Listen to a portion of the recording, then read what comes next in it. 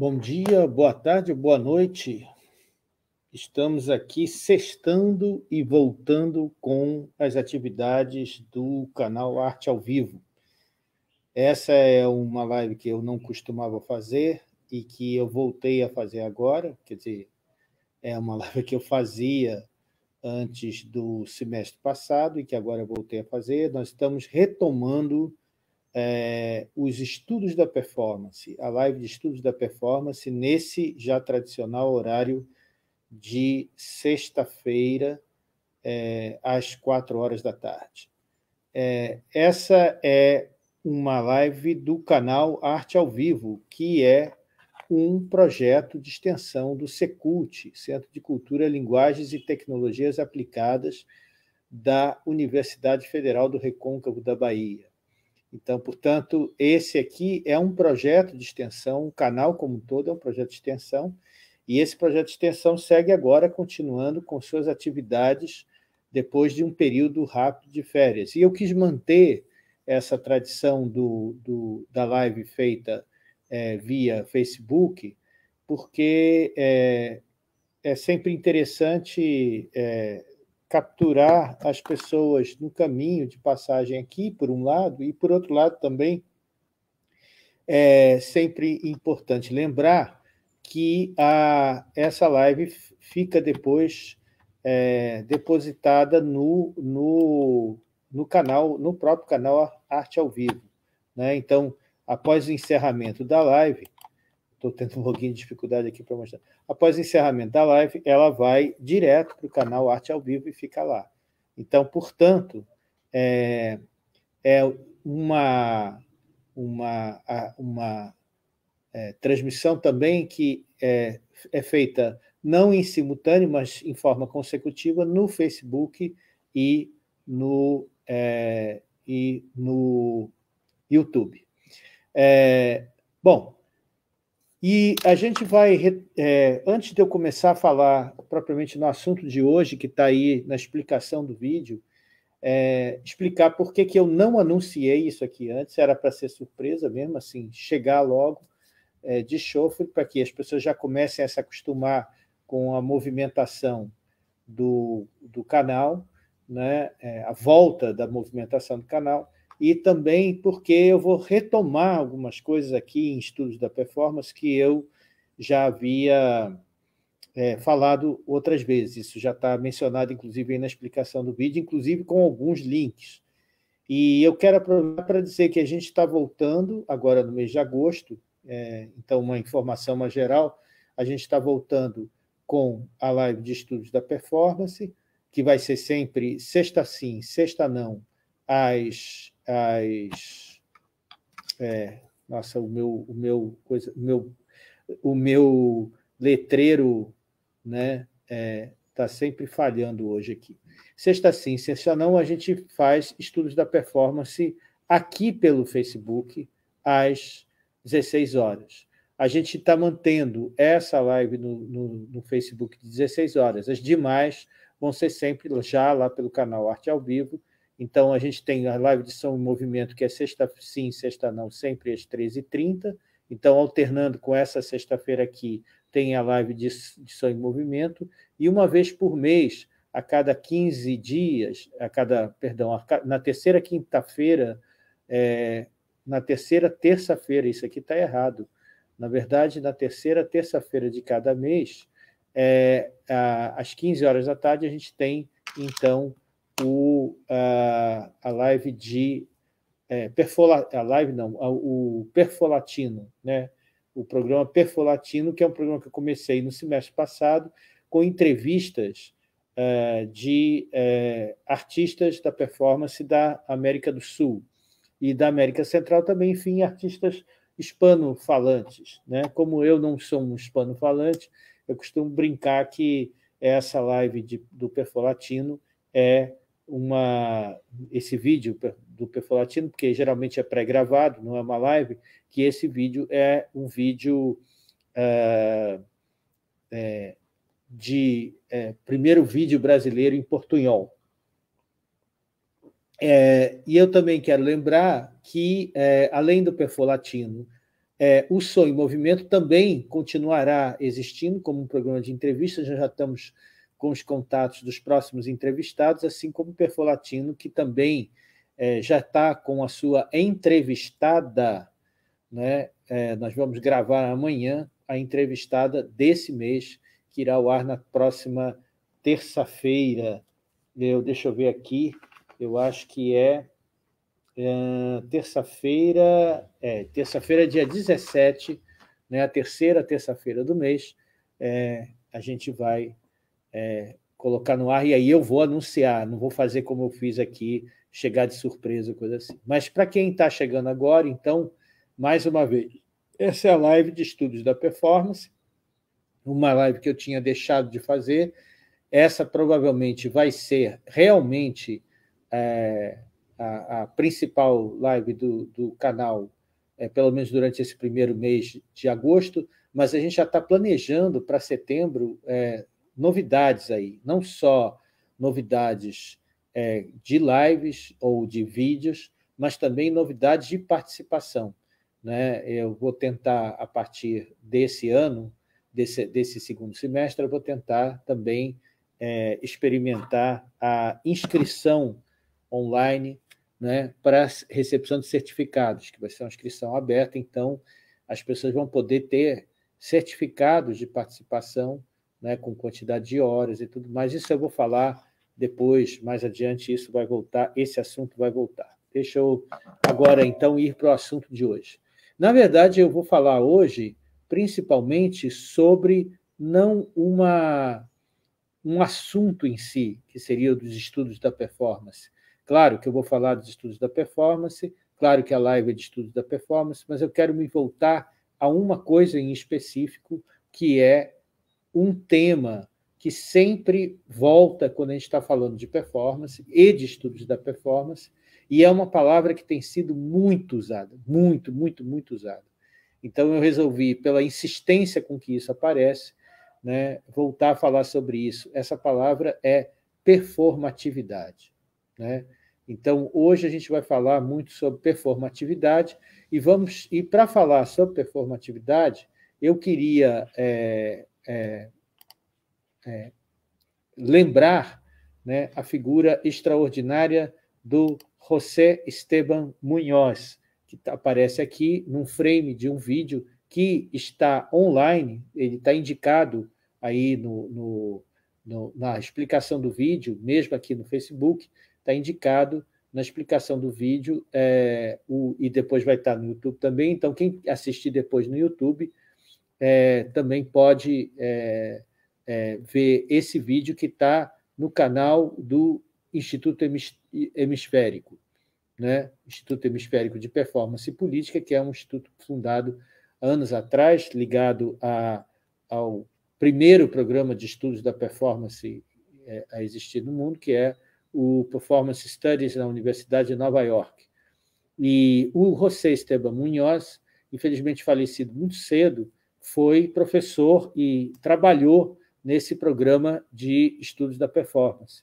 E aí é, dedicou-se em específico a uma recuperação da obra do principal é, do principal nome não é, é para essa ideia de performatividade. Curiosamente, o nome que nunca é citado, ou que raramente é citado quando se fala de performatividade, que é o nome do filósofo e do linguista né, John Langshaw Austin, uma figura uh, muito interessante que produziu um trabalho que foi, é, é, digamos, exemplar e fundamental na história para a história da performance, sem que ele mesmo soubesse necessariamente que estava fazendo isso, a gente já vai entender isso.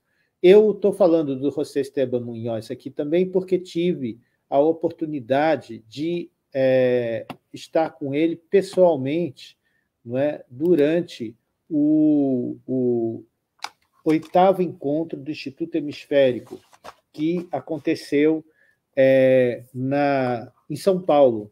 Né? O Instituto Hemisférico atualmente tem três línguas com que ele trabalha, é uma organização interuniversitária e internacional, e é, um dos eventos, não foi o único, né? o Instituto Hemisférico também aconteceu já em Minas Gerais e em, é, se não me engano, no Rio de Janeiro, é, mas a edição que eu pude participar foi em São Paulo, que gerou até esse catálogo aqui, né, que vai aparecer ao contrário para vocês, porque a imagem está invertida, mas é o catálogo, isso não tem importância também para que apareça, é o catálogo do evento. E nesse evento havia uma série de uh, palestras e de mini cursos que eles chamam, é, usando a expressão em inglês, teach-ins, né? E o primeiro teach-in que acontecia, ele aconteceu, esse evento aconteceu em janeiro de 2013. E o primeiro teach-in que estava anunciado para o dia 14 de janeiro, no começo do evento, eu acho que o evento começou no dia 13, se não me engano, é, era justamente o que são estudos da performance com José Esteban Munhoz. Isso nos idos de 2013. Né? Eu me lembro que, na época, eu fiquei muito interessado nisso, acompanhei vivamente, não tinha grandes expectativas, achava, conhecia superficialmente a obra do, do José Esteban Munhoz, não posso dizer que conhecia, na verdade, essa obra, quer dizer, conhecia de nome e sabia que ele trabalhava com questões de gênero. E, mas como o título era O que são estudos da performance, é, eu não estava propriamente interessado na questão de gênero, mas a ideia de ter alguém que atacava esse problema de frente me chamou a atenção. E aí, é, além disso, me chamou a atenção o, é, o resumo do teach-in dele, que está aqui traduzido em português, que eu vou ler, né? O objetivo desse teaching, então, o objetivo daquela, daquele evento, naquela ocasião, era expor os participantes à linguagem dos estudos da performance através da abordagem de temas centrais nesse campo. O que, que o José Esteban Munhoz considerava temas centrais? Abordará as diferentes perspectivas de estudo da performance, incluindo a etnografia da performance, a performatividade da linguagem e o ao vivo, a performance, o ao vivo a performance política, a interseção entre performance e tecnologia, a documentação da performance, tecnologia e a performatividade de raça e gênero. Esses temas serão introduzidos em uma narrativa mais ampla, com o objetivo de familiarizar os participantes com a história desse campo de pesquisa. Paradigmas teóricos serão listrados como a seleção de momentos emblemáticos na história da performance. Me chamaram a atenção nessa, nesse resumo, primeiro, isso que ele fala, o campo de pesquisa. Né? Em 2013, ainda não estava muito claro para muita gente que os estudos da performance são um campo de pesquisa, e um campo de pesquisa que já tem uma, uma vasta produção, muito embora eu acho que ainda em várias universidades, incluindo as universidades brasileiras, continua sendo marginal. Isso é, não constitui em si mesmo um universo de pesquisa e encontra grandes dificuldades de ser aceito como tal. É, me chamou também a atenção a sequência de coisas que ele enumerou que faziam parte da discussão, fariam parte da discussão que ele estava propondo. Etnografia da performance e a performatividade da linguagem são duas discussões que me parecem é, ir muito próximas da sequência proposta pelo Marvin Carlson no Performance, uma introdução crítica, aquele outro autor é, norte-americano que a gente vê hoje em dia em algumas biografias, cujo livro publicado aqui no Brasil, que é um livro de, de esse Performance, uma introdução crítica, é um livro de 90 e poucos, que foi editado aqui em 2010 pela UFMG e por algum motivo, embora seja bastante procurado, nunca é reeditado, quer dizer, está esgotado mesmo. Então, lá no o Marvin Carlson faz justamente uma primeira parte que ele fala do contexto das ciências humanas e dos estudos da performance dentro das ciências humanas. E esse contexto, dentro das ciências humanas, se forma em torno, basicamente, das ciências sociais, das ciências da linguagem, mais específico da linguística, e da psicologia. É, o Esteban Munhoz trabalhou com todas essas disciplinas, e uma das coisas que ele fala, inclusive, eu vou voltar a isso daqui a pouco, é o caráter interdisciplinar dos estudos da performance. Quer dizer, os estudos da performance nascem já interdisciplinares como reunião de saberes recolhidos em outras áreas. É, então, além disso, a performatividade da linguagem, o ao vivo, que é uma questão que eu passei, uh, sobretudo com esse canal, eu passei a, a, a trabalhar é, diretamente, né? o que o, o, o nome desse canal vem dessa ideia dos estudos da arte ao vivo, que é, em breve eu estou começando a compilar agora para uma eventual publicação futura, né? e que estão aqui disponíveis no canal. vou deixar um card aqui em cima depois na versão do YouTube, com uh, a playlist né, do, do, do, do, da, de arte ao vivo, que conta com mais de 40 vídeos em torno dessa questão das artes ao vivo e da, daquilo que eu chamo de desconstrução do espetáculo. Performance política, que é um, um terreno que eu não, já não trabalho tanto, embora tenha escrito um texto recentemente sobre isso, no ano passado, mas que ainda não saiu, é, a interseção entre performance e tecnologia, que é uma interseção também que eu trabalhei durante muito tempo, então isso me interessou também por isso, e a documentação da performance, que é a questão do arquivo, né, da documentação, da permanência, né, é, a tecnologia, performatividade de raça e gênero era outra questão é, nova que eu tive orientandos e orientandes que trabalharam com isso, mas não, não, não, não me envolvi diretamente, embora tenha coordenado, junto com a Tigresa, uma ex-orientante minha, tenha é, coordenado no Inicecult, no evento de Cultura, Linguagens, o Encontro Nacional de Cultura, Linguagens e Tecnologias, que a gente faz lá no Secult da UFRB, no meu centro, de onde é, é, vem esse projeto de extensão. A gente fez, uh, no último, no segundo NCCult, que foi em 2019, a gente fez um GT né, uh, dedicado a essas questões de gênero, de performatividade de gênero. Sim, Cristine, uh, os nomes dos autores citados, alguns já estão aqui, porque na explicação do, do, do, desse. Ao colocar esse vídeo, eu coloquei alguns links de alguns nomes, mas sim, posso deixar sim. Eu não posso escrever no chat, porque eu não tenho no StreamYard eu não tenho acesso ao chat aqui para escrever para você, mas, é, enfim, vou deixar depois, quando o vídeo estiver no YouTube, eu vou deixar mencionados o Marvin Carlson e o José Esteban Munhoz, que é sobre quem eu vou falar principalmente hoje. Bom, dentro do, do, desse, desse contexto, quer dizer, a descoberta minha do José Esteban Munhoz, então, se deu em 2013. Agora, essa entrevista que eu mostrei ainda agora um frame dela, né?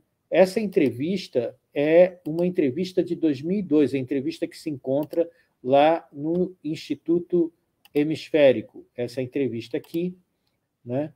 É... Só um pouquinho, porque eu me perdi aqui na minha. Ah, tá aqui. Essa entrevista que está aqui é, que está lá no Instituto Hemisférico, cujo link eu botei também na explicação do vídeo. Nessa entrevista, essa entrevista, perdão, é de 2002. Então, entre 2002 e 2013, o José Esteban Munhoz produziu uma série de é, é, trabalhos, principalmente relacionados com a, a, a performatividade de gênero. Né? Parece, ao que parece, o último trabalho que ele realizou foi esse aqui que eu vou tentar mostrar. Eu não quero mostrar, é, eu não pus o link para os outros livros dele, porque é, são livros que estão sendo vendidos pela Amazon. Não me interessa fazer propaganda da Amazon, mas de qualquer forma, também é claro, né, não significa necessariamente que eu estou fazendo aqui propaganda da Duke University Press, mas é, esse é o trabalho uh, mais recente, antes é, que ele deixou, ao que parece, embora haja títulos posteriores, mas esse é um dos trabalhos fundamentais dele, que se chama The Sense of Brown, The Sense of Brown, do José Esteban Munhoz. O José Esteban Munhoz era é, voltado para a performatividade também, não só de gênero, mas das pessoas do, do mundo latino, né? visto ele mesmo ser alguém que pertencia a esse universo. Né? Ele tem um outro livro que se chama Cruising Utopia, né, o é, cruzamento ou cruzando a utopia, né, esse é um, um, livro publicado mais recentemente que é, é, é uma, uma, uma, um apanhado né, é, de alguns, eu acho que deve ser um apanhado de alguns ensaios, esse livro eu realmente não conheço, chegou em 2009, né, portanto, ele ainda estava vivo, né, é, para insistir, segundo a explicação que é dada aqui, insistir que a queerness, a, a, a questão queer, deve ser reimaginada como um, um fenômeno de construção do futuro. Né? Então, é, o então e o lugar da futuridade, né? eu não sei como traduzir melhor isso, o termo futurity, a futuridade queer. Né? Então, esse era um, um, esse é um outro livro que ele é, produziu, e um terceiro livro que está disponível dele é o Disidentifications. Disidenti oh, que coisa difícil de falar. Disidentifications, Queer of Color and the Performance of Politics. Uh, é, desidentificação, desidentificação é, questões queer da cor e a performance da política. Ele se interessava muito, por exemplo, por essa convergência entre é, uma atitude ou um comportamento, ou uma performance queer, ou mesmo uma performance gay, lésbica, coisa assim, e é, LGBTQ, e a convergência disso com a também é, a atitude ou militância dos movimentos negros e dos movimentos uh, todos relacionados com o universo das culturas e dos saberes e das, das, das, das produções de povos que foram racializados, que foram subalternizados e assim por diante.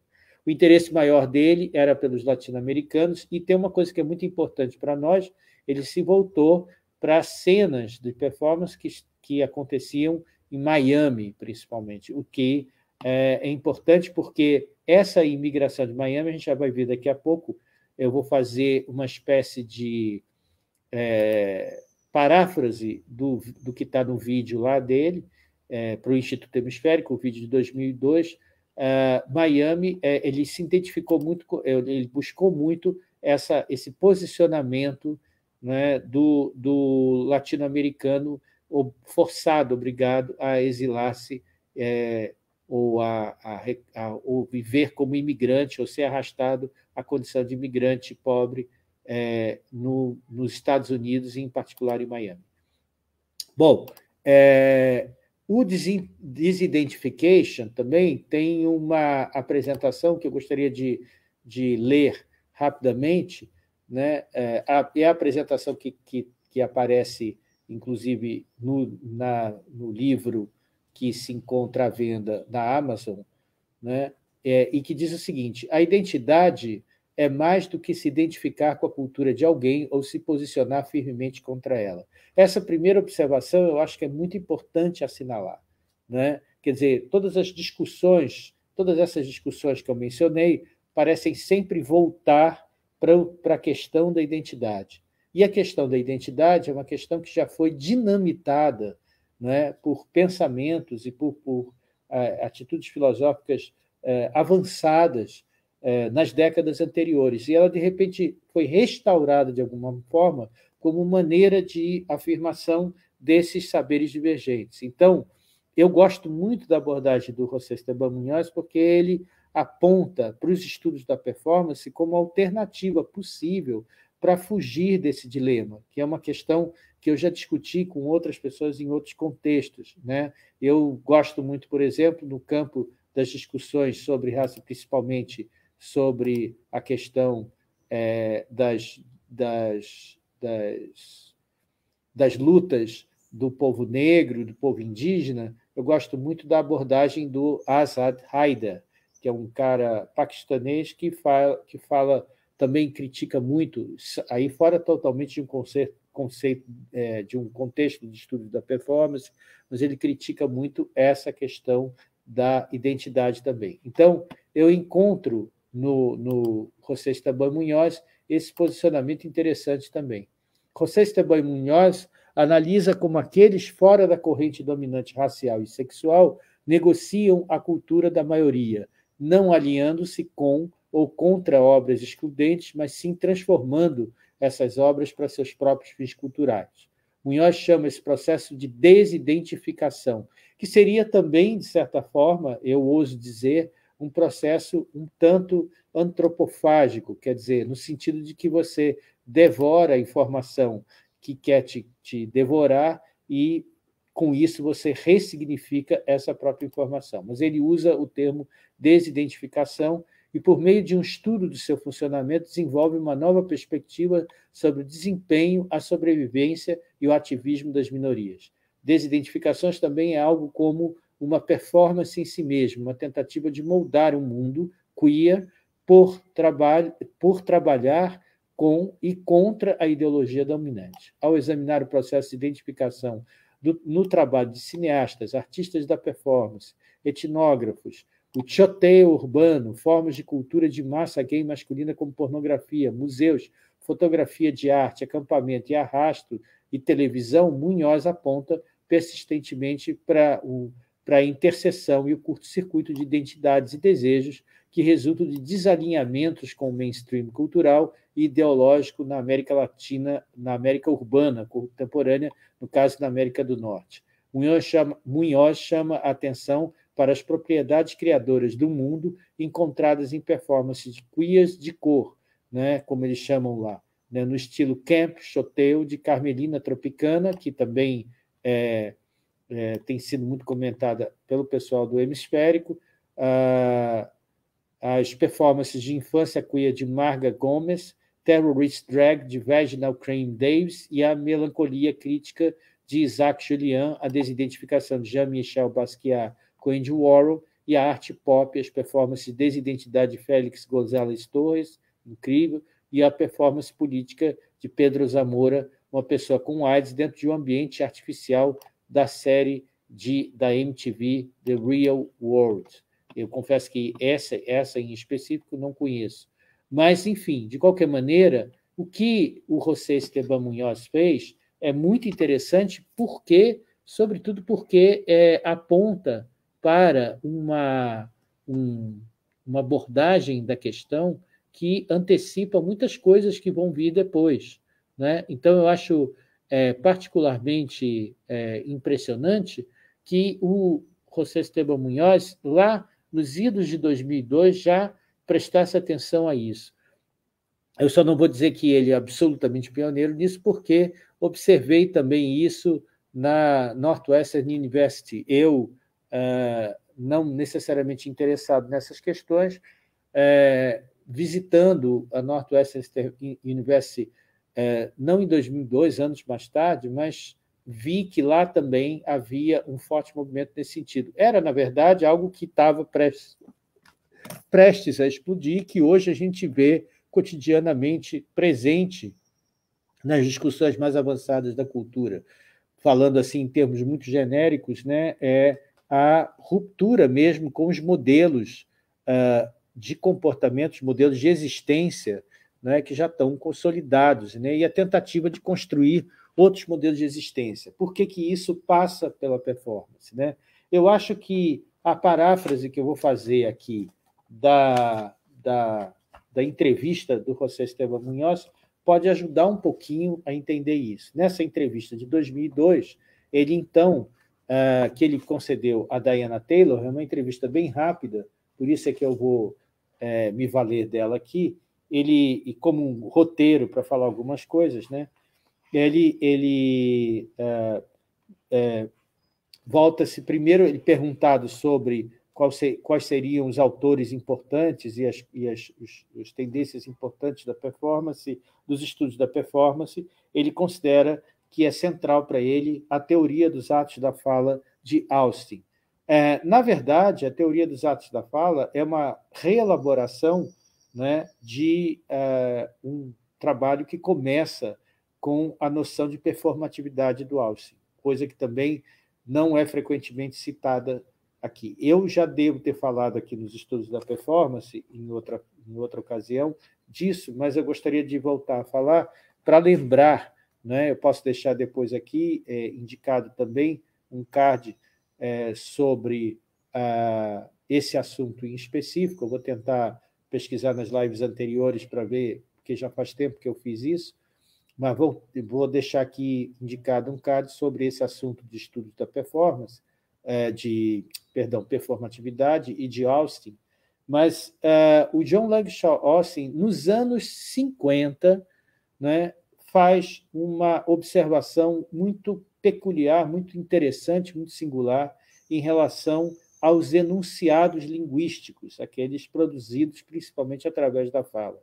Essa observação, mas não só, essa observação pode ser resumida no seguinte: ele entendia que era possível se dizer sobre, sobre qualquer coisa, ou se afirmar sobre qualquer coisa, é, duas possibilidades de enunciados: o enunciado é, constatativo ou constativo e o enunciado performativo.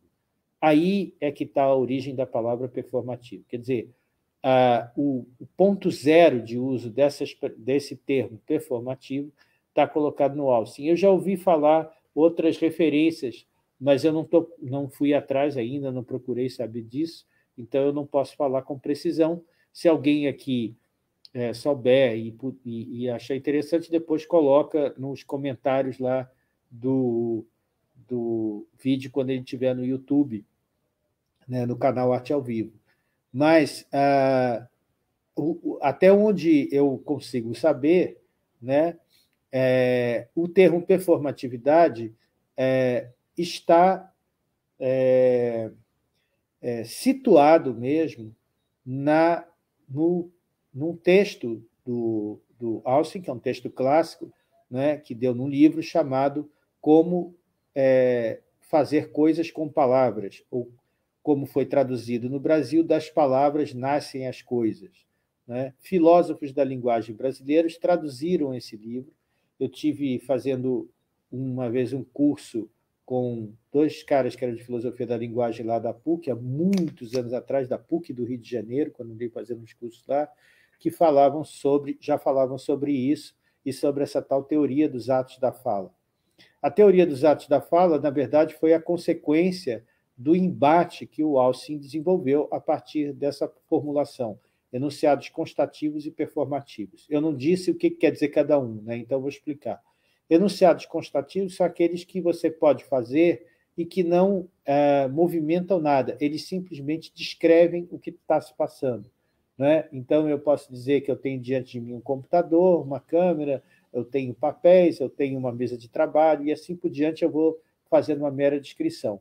Agora, o enunciado performativo é aquele que gera um acontecimento, o que produz um acontecimento, que pode ser um pedido, pode ser uma ordem. O mais famoso enunciado constativo é um enunciado, inclusive, bastante conservador, que é aquele que o padre, o pastor, o juiz de paz é, diz quando declara que é, um casal está casado. Então, ele, ele diz: Eu vos declaro marido e mulher. Esse exemplo que o Alcim usa, que é muito comum é, considerando o contexto da época dele, né, é um exemplo que, que é, entretanto, bom para a gente saber desses enunciados que estabelecem né, um acontecimento. A partir daquela fala, aquela fala inaugura um acontecimento. Né? É, essas falas têm, têm o enunciado performativo, por exemplo, um triste enunciado performativo foi quando o deputado, acho que era um deputado da Câmara dos Deputados, é, quando houve o golpe de 64, ele subiu à, tribuna para dizer que ele declarava vaga a presidência da República, né, confirmando o golpe de 64. Então, declarações, né, é, pedidos, né, é, é, é solicitações, coisa tem sempre uma tendência se elas têm grande possibilidade de acontecer, tem sempre uma tendência a ser performativas, quer dizer, produzir ações. Isso significa dizer que ele estava fazendo uma distinção entre enunciados que simplesmente de, é, escreviam ou falavam coisas do existente e enunciados que faziam coisas acontecerem. Essa era a ideia por trás disso, né? Porque performativo vinha de performance, e performance na língua inglesa designa sempre alguma coisa que é feita para um determinado público, para uma determinada de uma determinada forma, uma, uma determinada atividade que é produzida para uma determinada audiência e assim por diante.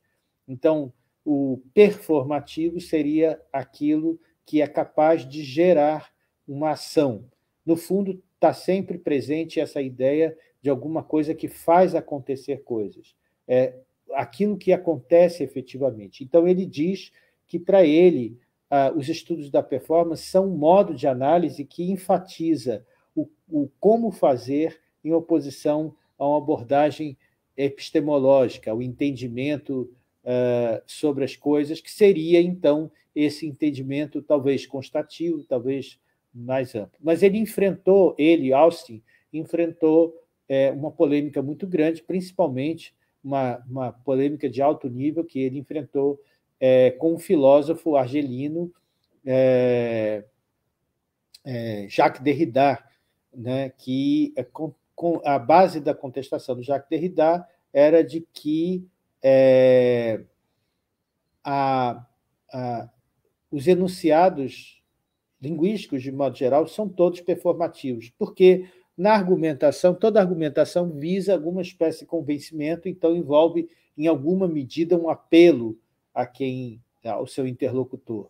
Né? Então, portanto, que todos esses enunciados eram, eram performativos. Eu me lembro muito bem que o, o José Esteban Munhoz mencionou isso e disse que havia uma certa crueldade é, naqueles que consideraram o assunto encerrado a partir do Derrida, porque não levaram em consideração que o próprio Austin absorveu essas críticas, ficou muito interessado por elas, no How to Do Things with Words, no como fazer coisas com palavras. Ele já estava é, tava, é, propondo algo em aberto que pedia contribuições, e é daí que vai surgir justamente a teoria dos atos da fala, sobretudo quando ele vai fazer a parceria com John Searle, que era um, um estudioso já da questão do cérebro, da questão da, do, do, da neuro, neurologia do conhecimento, né? da, da, não propriamente da ciência cognitiva, mas da cognição em si.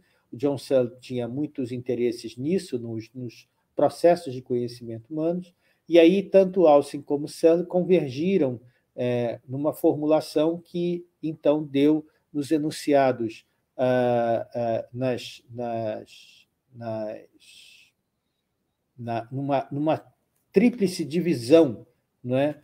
em vez de ele falar só de performativos e constativos, eles ah, vão falar de ilocução, perlocução, locução e perlocução. É, e a perlocução, na verdade, é vem a ser de uma, uma outra maneira de formulação do, da ideia do performativo. Entretanto, curiosamente, é justamente esse termo performativo que ficou mais fortemente entranhado nas pessoas. E não foi isso não foi imediatamente, porque imediatamente ele foi considerado de certa forma esse, conceito do performativo foi considerado como um conceito é, sujeito a contestações, né? Sobretudo tendo em vista o alto nível do debate com, com Derrida e tudo mais. Então, é, isso é, levou o conhecedor, o estudioso de linguística para a questão da ilocução e da perlocução e acabou é, afastando né, o cientista humano, de modo geral, dessa questão específica. Né? Com o advento dos estudos da performance, anos mais tarde, essa ideia foi recuperada. E não só isso, também foi recuperada por outras pessoas interessadas na própria ideia de performatividade. Ou seja, a ideia de performatividade de fazer alguma coisa acontecer, se sobrepôs ao acontecimento disso do ponto de vista linguístico. E como nós é, pertencemos, de algum ou outro modo, a uma sociedade cuja base é estruturada ainda, pelo menos no mundo das sociedades ah, ah, ligadas à tradição ocidental, a gente tem tendência a traduzir tudo em palavras, né? essa que era justamente a grande crítica do Derrida, o logocentrismo, o fonocentrismo, Né? Então, como isso é uma questão é, central, ah, os novos, as novas gerações de filósofos se debruçaram sobre essa ideia da performatividade. Exemplo, Judith Butler, que então vai partir dessa ideia do Austin é, de performatividade vai desenvolver a ideia da performance do gênero.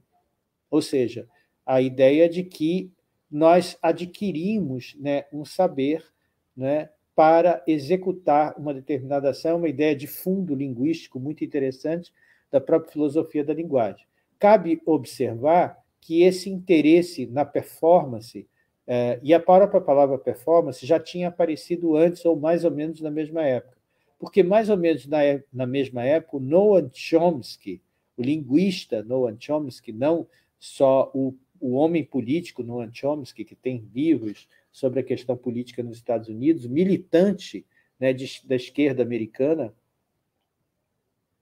mas também linguista, Noam Chomsky, é autor de uma teoria que refaz o caminho do fundador da linguística, que é o Ferdinand Saussure, que era suíço, né, e que fazia uma distinção é, nas línguas entre langue e parole, que é mal traduzida como língua e fala, uma tradução um pouco preguiçosa, porque para o Saussure, a langue era o repertório gramatical que já existe antes que nós cheguemos.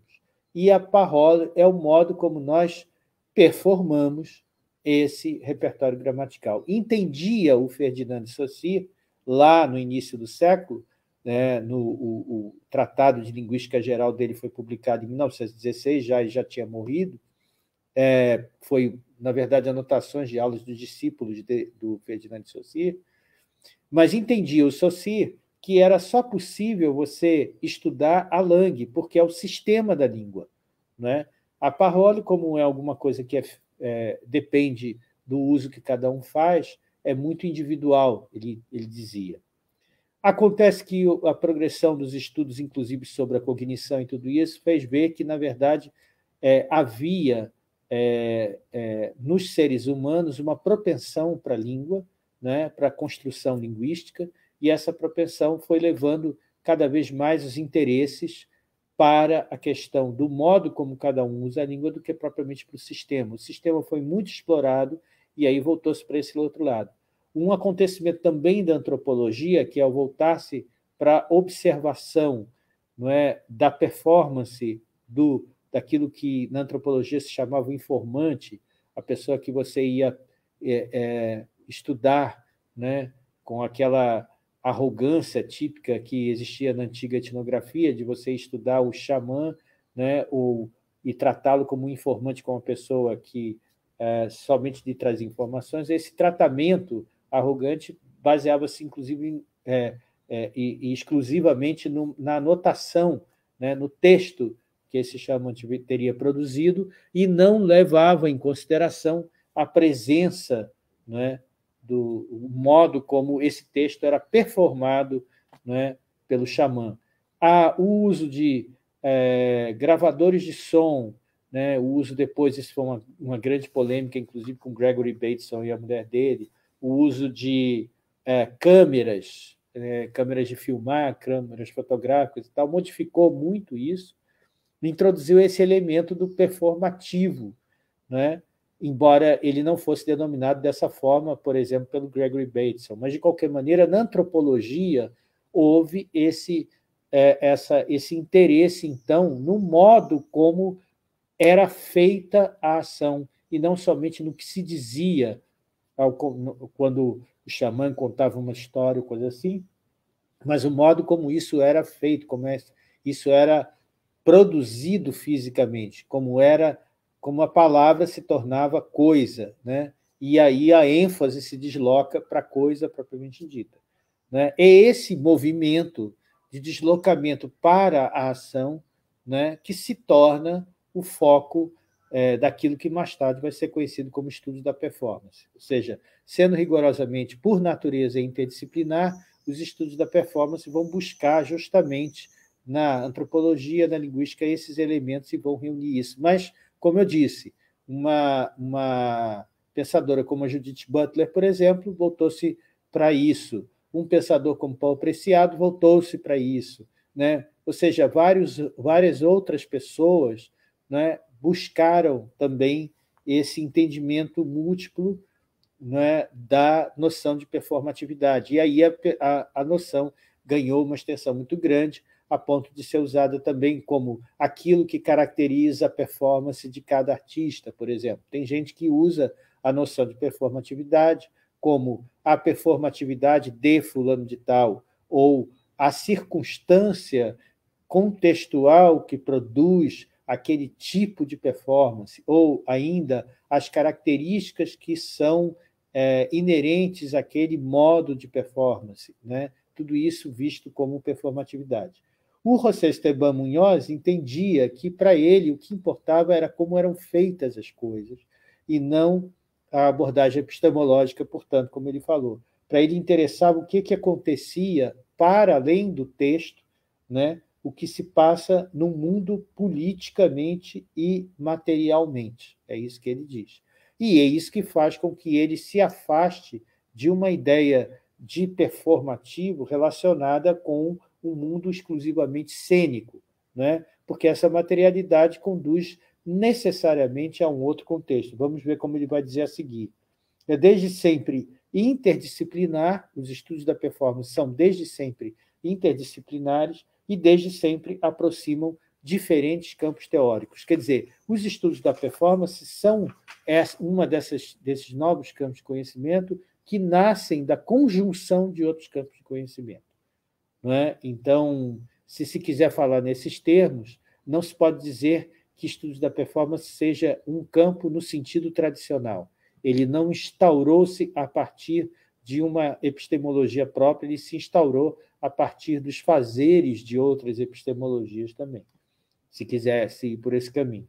É, ele, ao ser perguntado, ao, a, quando a Diana Taylor pergunta para ele como é que os estudos da performance contribuíram para a produção dele é, e, de que modo eles aparecem na produção dele, ele vai falar é, das performances antinormativas, do interesse dele pelas performances que ele chama de performances antinormativas, performances negras, gays, lésbicas ou outras minorias sexuais e o trabalho que suas performances faziam, fazem no mundo. Esse é o, o assunto do que ele diz que é o primeiro livro. Infelizmente, ele não diz se é o Cruising Utopia, se é o Disidentification, se é o, o, o outro, como é o Brown, é, the, como é o nome? Eu já esqueci aqui, eu tenho que olhar de novo a aba que tem o um nome. The Sense of Brown, né? o sentido, né? ou a, também pode ser a sensação, né? eu acho que é, esse, esse título é bem interessante. É, então, no, eu não sei qual desses livros é que ele fala disso, eu tenho uma certa sensação de que é o The Sense of Brown. Então, nesse, ele estava interessado nessas questões, né? como, como, sobretudo, como essas minorias é, sexuais interferiam, né, ou trabalhavam, né, ou, ou é, interferiam trabalhando, né, como é que a gente vai dizer assim, como elas fazem acontecer coisas no mundo, né? E é, isso é muito interessante porque ele chama atenção para uma um, um papel é, performativo né, dessas minorias na construção, no entendimento, né, nas formas de existência que hoje a gente está observando, né, as formas de existência é, em processo de transformação e as resistências reacionárias a essas formas de existência. Quer dizer, então, é, não é só é, a, as possibilidades novas de existência, mas as resistências implicadas nisso, daí a dimensão política também disso. Né? A força e a violência com que é, aparecem essas formas é, na, na, na vida cotidiana, eu sempre, quando passo o carro de som, eu sempre me atrapalho um pouco. É, a força como isso é, como essa reação, né, como aparecem as Damares Alves da vida, né, falando azul para os meninos, é, rosa para as meninas. Quer dizer, esse tipo de reação muito violenta é, caracteriza também a dimensão política, que era uma dimensão negada a esse tipo de formulação em outras épocas. Quer dizer, em outras épocas, por exemplo, na antropologia, se falava, por exemplo, se alguém fazia um estudo sobre é, drag queens ou sobre travestis, né? se falava dessas coisas como um acontecimento divergente dentro da sociedade, como uma coisa de gueto, mas não se concedia nenhum valor de contestação política a isso. E veja como essa transformação, é, para quem é mais velho como eu, a gente percebe muito nitidamente essa transformação total né, da sociedade a partir, né, é, inclusive, a, a, transformação dos argumentos. Veja que, por exemplo, é, muito daquilo que vai levar Bolsonaro ao poder e muito daquilo que é está envolvido na discussão cotidiana e muito que é usado também como propaganda política, tem que ver com essa questão que foi denominada, até numa tentativa de acompanhar esse, esse movimento das ideias no campo da esquerda, foi denominada de ideologia de gênero. Né? Quer dizer, o termo ideologia de gênero já conota né, a percepção de que há ali alguma coisa que está sendo dita e que precisa ser coibida, precisa ser impedida, porque aquilo vem num combo de outras coisas que seriam essa ameaça não é, é que atualmente a nova direita gosta de é, sempre ressaltar. E aí, o mais sobre isso, o mais impressionante é que no projeto que ele estava realizando em 2002, que provavelmente vai dar ou no Cruising Utopia ou no Disidentification, mas eu acho que é mais no Disidentification, né? Nesse projeto que ele estava desenvolvendo nessa época, ele vai, ele menciona é, que com lentes mais poderosas, são palavras dele, ele é, observa como as pessoas fazem isso, né? Não só é, essa atividade né, de intervenção é, do mundo é, LGBTQ+, na, na sociedade, mas, e, e, não só no teatro ou espetáculo, mas no cotidiano. E aí ele vai se voltar para pesquisa em igrejas, onde. É, por que, que ele escolheu as igrejas? Porque nas igrejas você tem essa dimensão do cotidiano, né? diferentes performances de religiosidade, os corpos e os atos da fala dos fiéis são absolutamente importantes, né? O, a questão do transporte religioso, como ele usa o termo, né? transporte aí está é, no sentido dessa, desse quase do transe, né? é o transe mesmo, né? o transe religioso, que nas religiões pentecostais existe de facto, né? não somente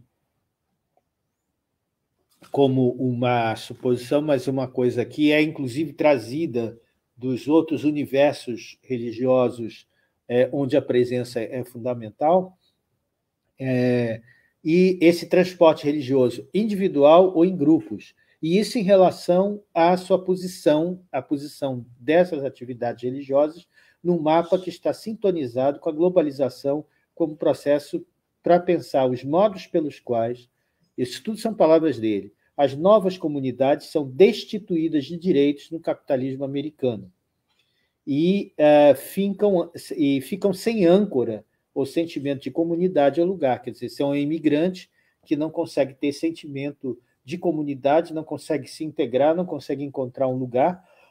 Essa é a questão clássica do imigrante.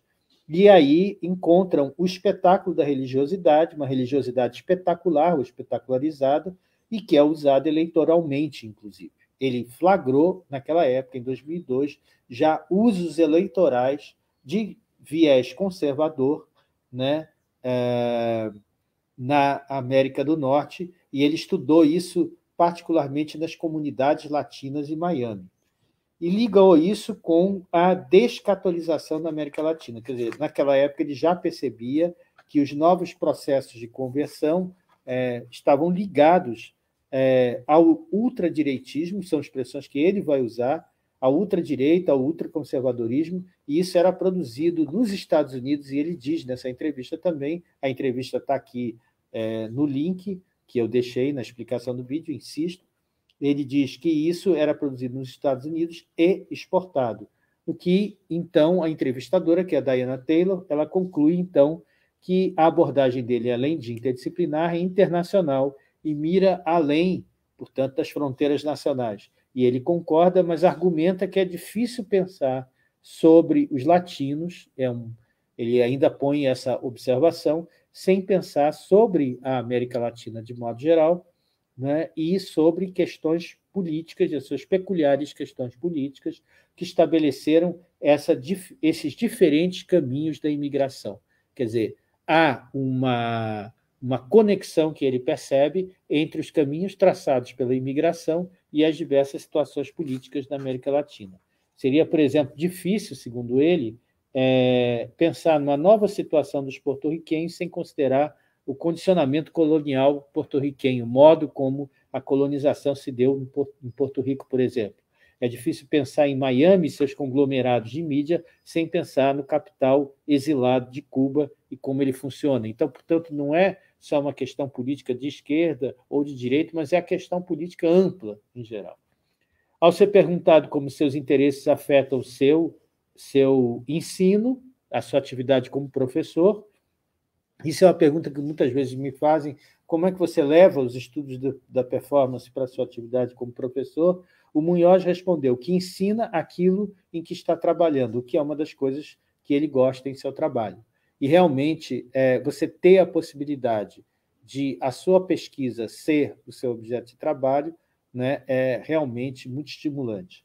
Dá um exemplo de uma aula que ele deu sobre emoção e performance, onde trabalhou com todas as fontes teóricas que ele conseguiu levantar sobre sentimentos, incluindo a fenomenologia, alguns movimentos interessantes da psicologia, momentos interessantes da psicologia, perdão, momentos, e o trabalho histórico desenvolvido por autores como Debois. E assim juntou o que e, e assim juntar o que começa a ser o tipo de máquina teórica necessária para o projeto em que estava trabalhando. Quer dizer, dar aulas é também reunir esses repertórios para que você possa pôr em movimento os novos projetos. Então, é, com a clareza cristalina que o José Esteban Munhoz era, era, era peculiar, que lhe, lhe era peculiar, com o total desassombro, sem nenhuma afetação, sem nenhuma uh, discurso bombástico militante, assim, com a maior tranquilidade. Ele era um, uma figura que tinha essa característica né, de é, ter uma certa suavidade no falar, é, vocês vão poder observar isso na entrevista, embora a entrevista seja muito rápida e ele estivesse, parece que naquele momento também pensando em outras coisas e tal, mas de qualquer maneira, é, com esse com esse tipo de abordagem, o José Esteban Munhoz fez é, uma uma carreira brilhante, embora interrompida, lamentavelmente perdida no sentido dessas discussões mais genéricas em torno dos estudos da performance. Quer dizer, Aqui e ali nos livros é possível perceber essas questões, mas ele, embora fosse um conhecedor exímio da obra do John Langshaw Austin, né, um leitor e um conhecedor exímio dessa, dessa proveniência, um defensor defensor de Austin, inclusive sendo uma coisa difícil, porque Austin, entre outras coisas, era um cientista dos anos 50, um linguista com certo viés conservador, há muitas coisas na, na, no vocabulário e na própria percepção do Austin que são conservadoras. Né? Há outras que são é, que chegam a ser engraçadas. Por exemplo, ele achava que no teatro não tinha performativo, porque no teatro, como você está falando, mas você está falando através de um personagem, esse personagem é ficcional, então você não vai fazer coisas acontecer, as coisas não acontecem. Quer dizer, a visão dele também do que era ficção era muito uh, precária, vamos dizer assim. Né? É, como acontece muitas vezes com muitos desses autores. Ele não, certamente não imaginava que a ideia de performativo ia durar tanto tempo, o próprio Austin, que não, também não viveu muito tempo. Né? A exemplo do José Esteban Munhoz, que morreu muito cedo, Austin também morreu cedo, e não chegou a ver né, a extensão daquilo que ele produziu e como isso repercutiu é, é no mundo é, contemporâneo.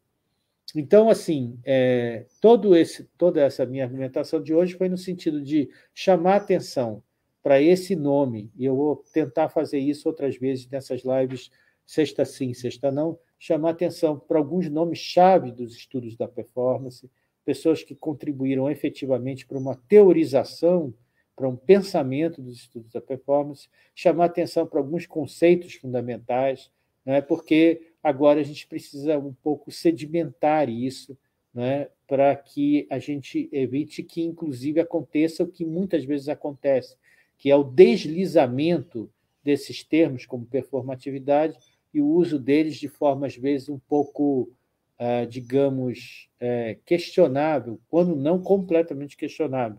Já, já vivi muitas situações em que o termo performatividade era usado, inclusive, como, eu tenho dito sempre isso, como um atenuador. Não é? Há uma coisa que acontece com performance que é muito engraçado. Que acontecia também, eu vi acontecer muito com, com semiótica. Como semiótica é um, um, uma prática é, pensamental que hoje está muito em desprestígio, ninguém nem se preocupa muito com isso.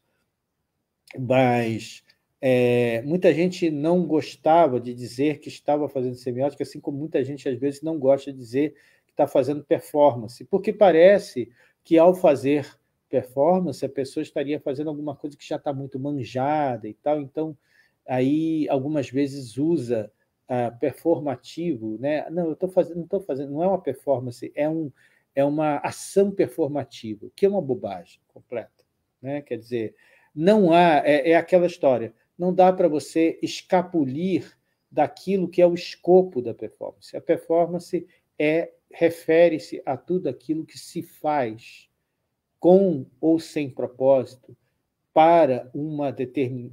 um interlocutor que pode ser um, dois, dez, né? E, e, e esse interlocutor não é um mero espectador, ele às vezes é um participador, às vezes ele é uma testemunha do acontecimento. Então, o, a performatividade entendida como fazer coisas é praticamente inerente à própria espécie humana. Né? Se é inerente à espécie humana que exista a representação, que é uma coisa é, muito discutida hoje em dia, mas enfim, né, é inerente também à espécie humana que haja os modos de fazer. E foi isso que foi descoberto, inclusive, por esses autores, como Butler, por exemplo, que, que é, resgatou essa noção de performatividade para falar da performance de gênero. Né? É isso, gente. Então, ficamos por aqui hoje. É, daqui a 15 dias, portanto, sem ser a próxima sexta-feira, na próxima sexta-feira, aqui no canal, a gente vai ter a live de som em movimento, e na outra sexta-feira eu volto com mais conversas sobre estudos da performance. Obrigado a todos que assistiram hoje, aos que mandaram elogios, agradeço a Cristina, a Tigresa, a Cristina Carvalho, né? É, e, e, convido vocês para estarem comigo, é, sem ser essa sexta-feira, na outra, novamente aqui nos estudos da performance. É, eu encerro o vídeo aqui, mas ele vai depois, em seguida, para o, o YouTube. E lembro, aproveito para lembrar mais uma vez, que isso é parte do projeto de extensão que eu coordeno no Centro de Cultura, Linguagem e Tecnologias Aplicadas, o projeto Arte ao Vivo, na, no Centro de Cultura, Tecnologia, a, a, Centro de Cultura, Linguagens e Tecnologias Aplicadas da Universidade Federal do Recôncavo da Bahia, onde eu dou aula. Um abraço a todos, muito obrigado e até daqui a 15 dias. Tchau.